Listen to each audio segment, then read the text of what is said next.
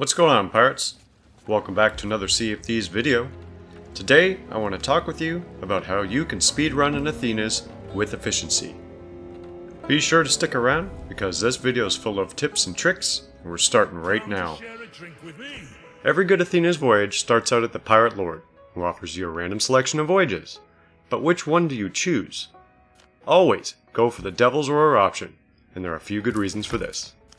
For starters, you get one and a half times the reputation of a regular Athena's voyage, meaning you only need 62 Ashen Athenas to reach Pirate Legend level 10, instead of the 92 regular Athenas.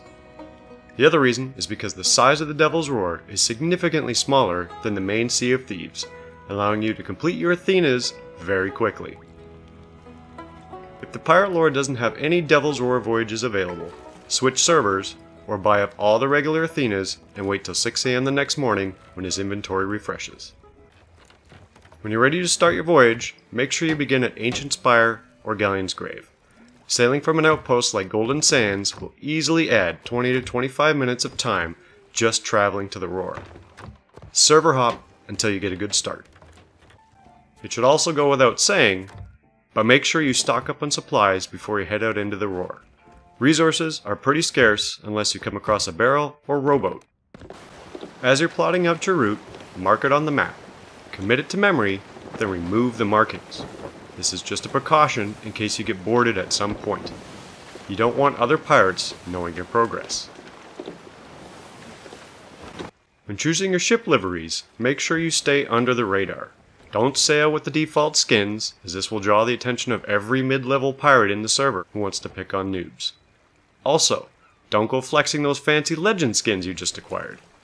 Any experienced pirate who sees you will know exactly what you're doing. And guess what? You just painted a giant target on your back. To prove my point, here's an example where we intercepted a legend doing his Gilded Athenas. He's moored out in the open, on the final island, flexing Athena's skins. This guy's rolling in in Athena's This as well. pirate also had all of his maps circled to confirm our suspicions. Lone Cove, Hidden Cove Springs. He might. Don't do this. almost let them finish. Alright, we got some of the basics out of the way, let's get into the speed run. I'm going to drop a little timer in the corner here so you know how quickly these can be completed. If you want to take a guess on what that time might be, leave a comment below. Also, while you're there, you might want to consider hitting that red subscribe button. Each Athenas will consist of four different quest types. Gold Hoarders, Order of Souls, Cargo Runs, and Riddles. Because the Devil's Roar is so small, several of the quests will double up on the same island. At most, you will only have to visit six islands, plus the final Athena location. Getting to know the larger islands in the Roar is also key to a good speedrun. Places to park, merchants, riddle locations, as well as typical spawn spots. Over time as you do these, they will become second nature, but if you're a newer legend, I put together some overlays to help you out. Link in the description. The most efficient way to complete an Athena's is to do the tap and go technique. Essentially, this means leaving all treasure and cargo behind. Remember, your end goal here is the Athena's chest, not getting caught up in the treasure. You will have plenty of time for gold later. Riddle quests always spawn on the large islands. There are only a handful of landmarks and paintings, and with repetition, you will eventually memorize them all. This greatly speeds up your Athena's runs. Until then, I recommend you look into Rare Thief to help find the solutions. This website has a fantastic interactive map that lists all of the riddle locations. I'll be sure to leave a link in the description. The gold hoarders can be a real pain to deal with, especially on the larger islands. To keep your time to a minimum, try and memorize the X mark locations. This will greatly improve your efficiency and you won't have to deal with any of the skeletons that spawn. Obviously, the smaller the island, the easier this is to do.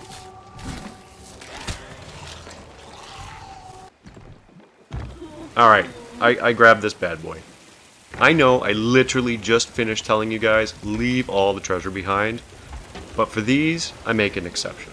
They are quite rare, and if you manage to collect a hundred of them, you're going to unlock one of the rarest titles in the game, the Hoarder of Treasured Tears.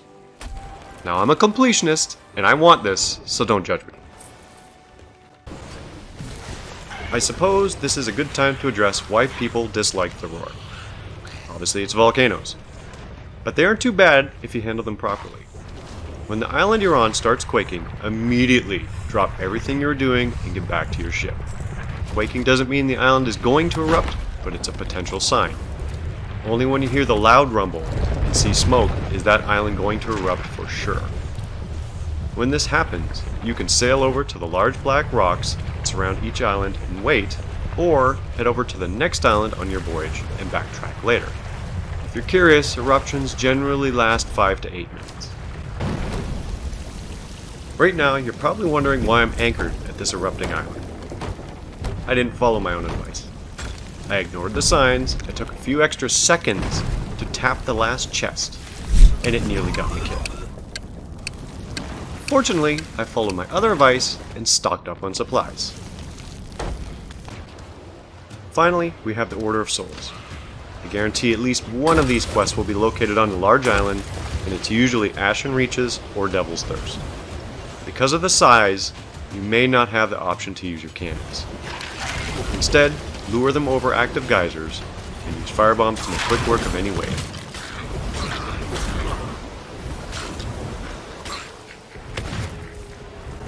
Once you have completed all of the voyages, you will receive a map to the final Athena Island. This is a good time to bring up the possibility of thieving pirates. If at any point during your Athenas you have spotted another ship in the Roar, it's pretty safe to assume that they know you are doing an Athena.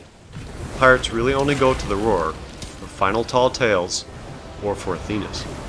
If you drop your chest off at Morrow's Peak, there's a pretty good chance the trap has been set up for you. Don't worry, if it's me setting the trap for you, I'm going to screw it up, and you're fine. But you might not be so lucky with other pirates. If you're concerned, head back to Ancient Spire or Galleon's Grave just to be safe. One other thing I want to mention. If you're doing these voyages with a crew, cannon over pirates to the islands while someone continues to sail. Let them clear out whatever needs to be done and mermaid back to the ship. If this is done right, you can have substantial impact on how quickly you complete an Athenas. This is assuming, of course, nobody dies. 1 hour and 18 minutes. I haven't done an Athenas in over a year, but this was by far my fastest time on record, even with the detour and unexpected volcano. How close were your guesses? Well, I hope this video helps you out on your next Athenas run, and as always, thanks for watching, and I'll see you in the next video.